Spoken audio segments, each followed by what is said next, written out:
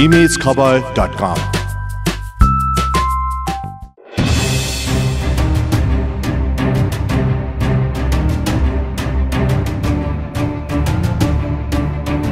नेपाल भारत सीमा क्षेत्रमा सीमा रक्षाका लागि सैन्य बलको कमजोर उपस्थिति छ जसका कारण भारतीय पक्षबाट सीमा अतिक्रमण भइरहेको छ। करिब सैतिस हजार दुई सय जनशक्ति रहेको अर्धसैन्य बल सशस्त्रको मुख्य जिम्मेवारी सीमा रक्षा हो। तर नेपाल भारत एक हजार आठ सय अस्सी किलोमिटर लामो खुल्ला सीमामा छ हजारको हाराहारीमा मात्र सशस्त्रको जनशक्तिले काम गरिरहेको छ।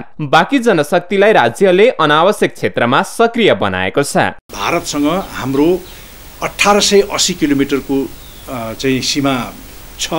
त्यस्तै आएर चिनसँग चौध सय चौध किलोमिटरको छ। अब यो दुवै ठाउँमा थुप्रै अपर्याप्तता छन् अहिले। थुप्रै अपर्याप्तता छन्। अब त्यो छैसठी सतसट्ठी सालतिर हामीले जम्मा चाहिँ दुई सय आठ दुई सय दसवटा बिओपी बनायौँ।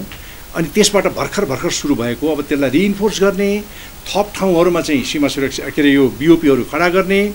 त्यसपछि त्यसलाई इक्विप गर्ने त्यसपछि त्यसलाई तालिम दिने यी थुप्रै कामहरू बाँकी छन्। पञ्चायत कालमा सीमा सुरक्षा गर्न सीमा सुरक्षा कार्यालय बनाइएको थियो तर समयक्रमसँगै त्यसलाई निष्क्रिय बनाएर सुरक्षाको जिम्मा प्रहरीलाई दिइयो। दुई हजार चौसठी पैँसठी साल पश्चात अर्धसैन्य बल सशस्त्र प्रहरीलाई सीमा रक्षाको महत्वपूर्ण जिम्मेवारी सुम्पिएको छ। नेपाल प्रहरीका पूर्व डिआइजी हेमन्त मल्ल ठकुरी सशस्त्र प्रहरीको संरचना नै सीमा रक्षाका लागि भएको तर्क गर्नुहुन्छ। एपिएफ चाहिँ डेडिकेटेड रूपमा चाहिँ खटेको एजेन्सी हो र खटेपछि तपाईँको धेरै कामहरू पनि भएका छन् र जुन हाम्रो सीमा सम्बन्धी कतिवटा विवादहरू थियो नि जुन नापीले छुट्याए तापनि त्यसमा विवादहरू आइरहेको थियो या समस्याहरू थियो त्यो समस्याहरू धेरै हदसम्म समाधान पनि भएका छन् र त्यसले डिजिटलाइज पनि गरेको छ। भारतले निरन्तर जमिन मिच्दा सेना परिचालन गर्नुपर्ने माग भइरहेको छ। सेनाका पूर्वरथी डाक्टर प्रेमसिंह बस्न्यात परिस्थिति जटिल नभएसम्म सेना परिचालन सम्भव नभएको बताउनुहुन्छ।